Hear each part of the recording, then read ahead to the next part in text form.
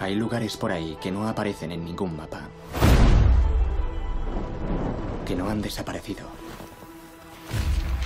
Solo se han perdido. Después de numerosos retrasos y más que algunos problemas de producción, Sony finalmente ha lanzado el primer tráiler de Uncharted, la tan esperada adaptación cinematográfica de la franquicia de PlayStation del mismo nombre. Queda por ver si la película es capaz de romper lo que solo se puede describir como la maldición de la película de videojuegos, pero aquí en este vídeo os vamos a desentrañar los detalles más potentes que nos ha dejado este avance de la nueva aventura de un joven Nathan Drake. Y es que el próximo 18 de febrero de 2022 tendremos una gran cita en las pantallas grandes, cuántas referencias encontraremos de una de las mejores sagas de PlayStation, del Indiana Jones moderno, del cazatesoros por excelencia de los videojuegos. Bienvenidos familia de Vandal, poneos cómodos, porque siempre es un placer volver a hablar de Uncharted, y más aún, de esta próxima película.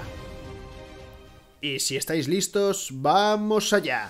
Después de muchos retrasos y otros reveses, por fin Ruben Fraser ha organizado la dirección de la película. Sí, el mismo que nos trajo Zombieland y la primera de Venom. Sin duda alguna, este director estadounidense fue la última opción de Sony para intentar sacar adelante este proyecto. Y sí, por fin verá la luz nos presentan en plena noche de Nueva York a Nathan sirviendo cócteles en un club. Es ahí cuando aparece Mark Wolver interpretando a su personaje de Sully. Sí, efectivamente, lo notáis raro, ¿verdad? Porque no tiene su característico bigote, el que siempre ha caracterizado a su fiel mentor y compañero de aventuras. Esta situación ha generado alguna que otra crítica negativa. Siempre hay esperanza de que el bigote aparezca de alguna forma.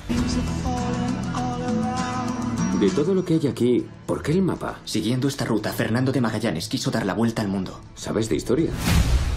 Vemos una habitación repleta de objetos y documentos históricos, mapas, donde se habla realmente de la misión que acontecerá en la película. Nathan nombra a Fernando de Magallanes y su vuelta al mundo, el mítico navegante y militar portugués del siglo XVI que con la ayuda de Carlos I de España y V de Alemania conseguiría la subvención para realizar dicha expedición, barcos españoles y otro hombre muy importante, Juan Sebastián Elcano que terminó la obra de Magallanes. Es el mayor tesoro no encontrado. Unos 5.000 millones. Creo que estás aquí por tu hermano. ¿Conoces a mi hermano Sam?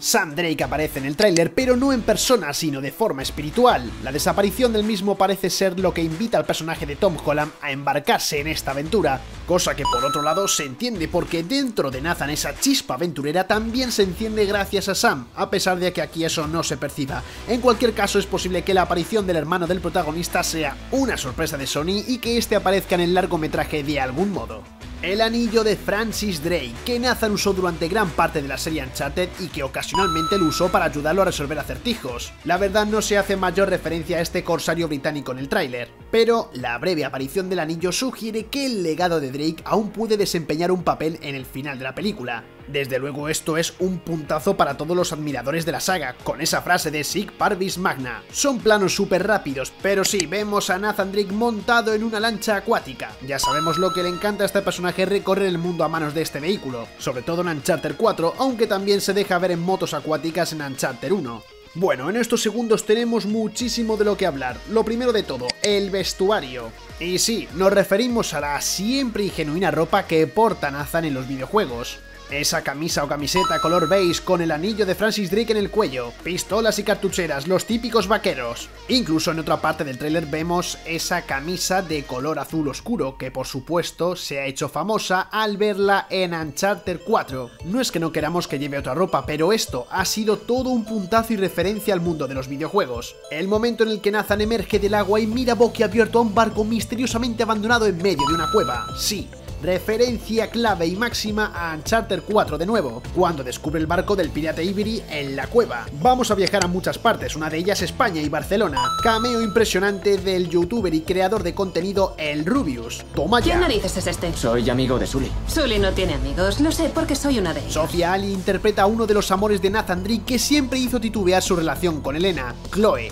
que aparece en escena de forma un tanto precipitada y abrupta, pero aún así parece que tendrá una presentación mucho mejor y adecuada que en los videojuegos. Así que marchando. Pocos frames pero intensos de carreras y persecuciones por tejados. Realmente parece muy épico y de hecho nos recuerda a muchos de los momentos en los videojuegos cuando Nate tiene que correr como si no hubiera un mañana y de hecho en el 3 por los tejados. ¿Eres coleccionista? Solo como hobby. Para mí no es un hobby. Mi familia lleva buscando esta fortuna mucho tiempo. demasiada sangre. Sí, señor, los antagonistas Antonio Banderas y Tati Gabriel haciendo de Braddock. Pero en un instante del tráiler podemos ver incluso la cruz de Santa Dimas, que si recordáis bien aparece en la subasta de Uncharted 4, otra referencia más para seguir disfrutando, sobre todo por la introducción de la investigación histórica. Me da que acaba de amenazarme de muerte. No te toques la oreja así, pareces un idiota. Uncharted es pura combinación de acción y buenos chascarrillos soltados en momentos clave. Es la personalidad de Drake, y cuando les vemos vestidos de trajes elegantes solemos prever que algo va a pasar. Lógicamente luego es así. Vemos más planos de acción, consecuencias o más bien fotogramas que nos recuerdan a Uncharted por muchas razones, sobre todo esos momentos de Drake apuntando y disparando sin cesar. con esto desde que era niño. Mi hermano Sam me dejó una última pista. Más cositas, vemos a los malos malísimos, Nathan pasándolo muy mal y por supuesto esto que nos ha interesado mucho. A ver, vamos otra vez para atrás. Esta postal de España y que pertenece al hermano de Nathan. Otra referencia a Sam. Acción trepidante con puzzles como en el videojuego y también por supuesto ese toque imprescindible de Indiana Jones. Hablemos de la música del tráiler porque aparecen los legendarios Led Zeppelin con su tema Rain Alone. No está mal, desde luego, pero los grandes fanáticos esperaban ver la música original, el tema de Nathan Drake, algo épico y esencial para esta película, y sí, sabéis de cuál hablo.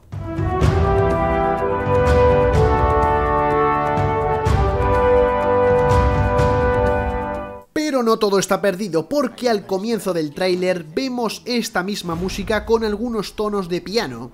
Es decir, lo agradecemos profundamente porque ya nos habíamos asustado. Hay lugares por ahí que no aparecen en ningún mapa. ¿Lo escucháis?